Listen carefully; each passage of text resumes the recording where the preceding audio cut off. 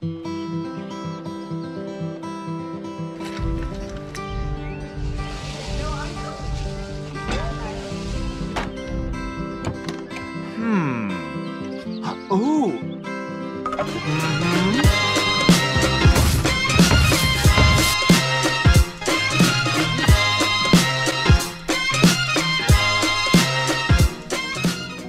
Pues muy buenas tolocos, bienvenidos al canal, bienvenidos a un nuevo diseño de Ayuntamiento 9 que muchísima gente me estaba pidiendo. Y aquí me gustaría hacer un inciso antes de comentar, antes de comenzar, perdón, porque es que suelo tardar mucho en Ayuntamiento 9, sobre todo porque es muy difícil que haya una base anti todo. Eh, es muy difícil que un diseño defienda anti la lun y también a la vez defienda anti montapuercos. Hay diseños específicos para cada tipo de ataque. Por lo tanto, mm, llevo mucho tiempo sin subir un diseño porque intento buscar uno que defienda ambos ataques o incluso brujas como un tercer ataque y es prácticamente imposible. Así que lo que he decidido es subiros más frecuentemente diseños, ¿vale?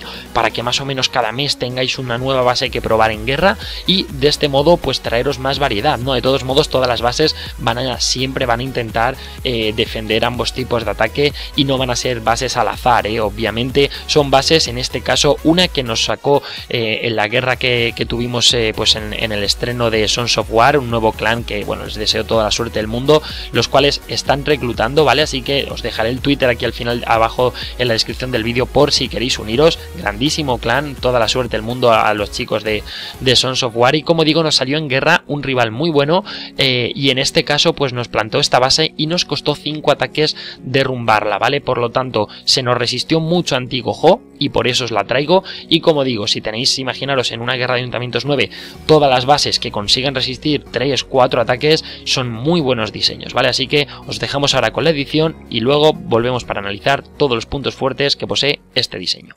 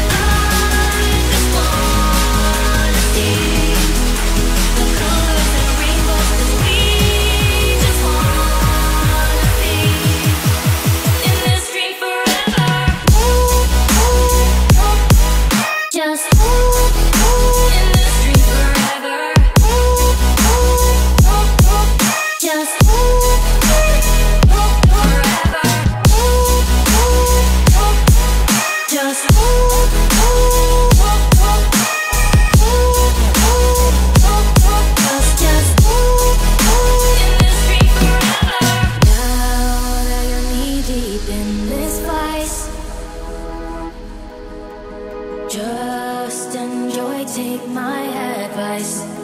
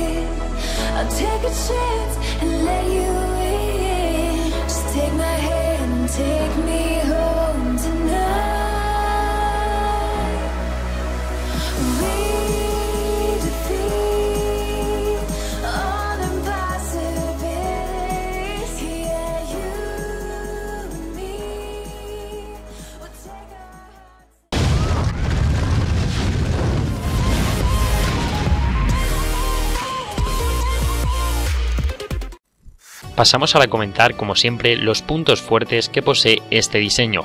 Como digo, es una base muy pensada anti montapuercos, anti cojo y por tanto tiene unos parámetros como todas las bases que corresponden a este tipo. Aún así, eh, decir que también tiene algunos puntos fuertes ¿no? Eh, a favor de, un diseño que sea anti-lalún. En primer lugar, tenemos un castillo del clan centrado e insacable. Fijaros que tenemos aquí todos los edificios alrededor para evitar que lo saquen con montapuercos, ¿no? que se tengan que gastar varias tropas. Por lo tanto, un castillo centrado.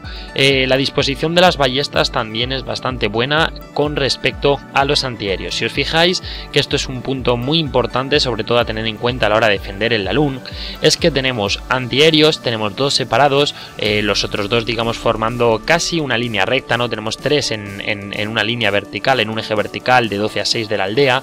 Lo que sí es cierto es que está en el lado opuesto las torres de magos. Las torres de magos siempre deben ir separadas y alejadas de los antiaéreos, ¿vale? Porque de esta forma, cuando, eh, cuando pasan los sabuesos, si tuviésemos una torre de magos cerca, la torre de magos estaría disparando al sabueso y no queremos eso. Las torres de magos tienen que estar siempre alejadas para que hagan daño a los globos, que son al fin y al cabo los que van a, destrozar toda la base, ¿no?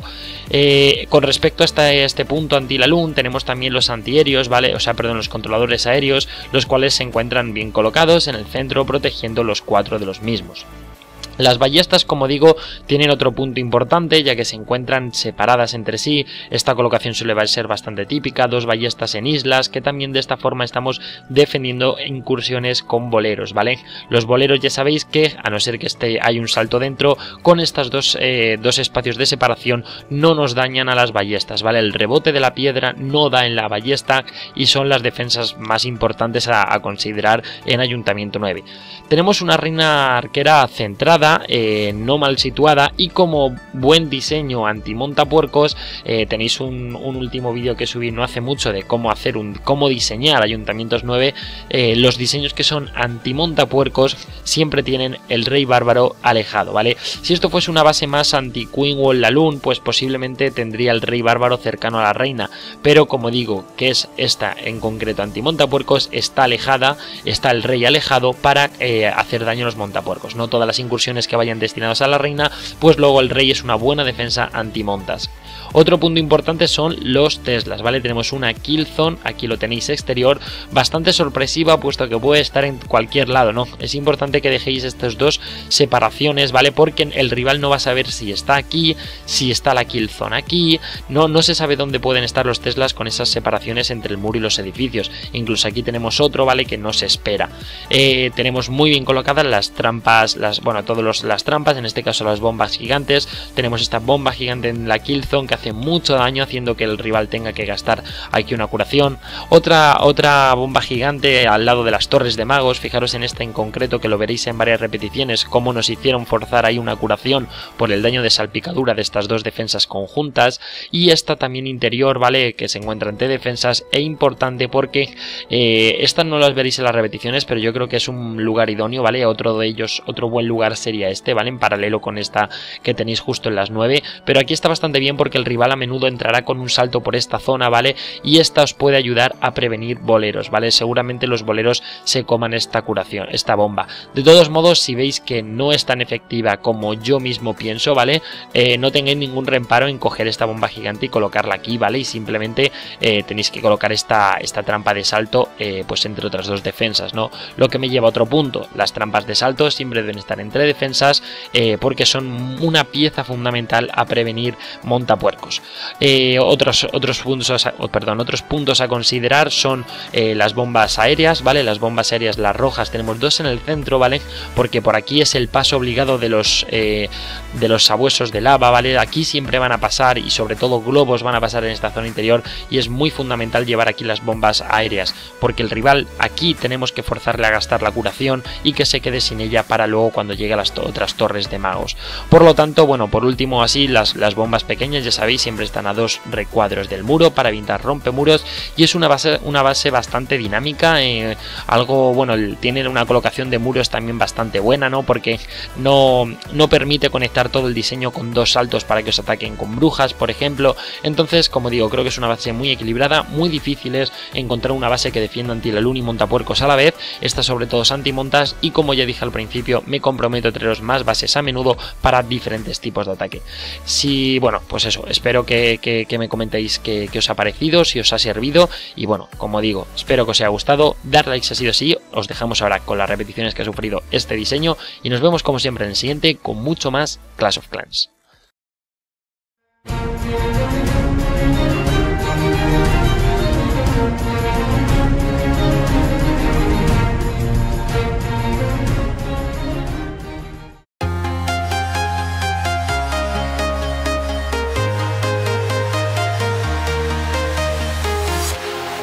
I can see is my own silhouette. I'm getting stronger, step by step. The clock is ticking, but there's no time for regrets. I've been flying from town to town, from London to Taiwan.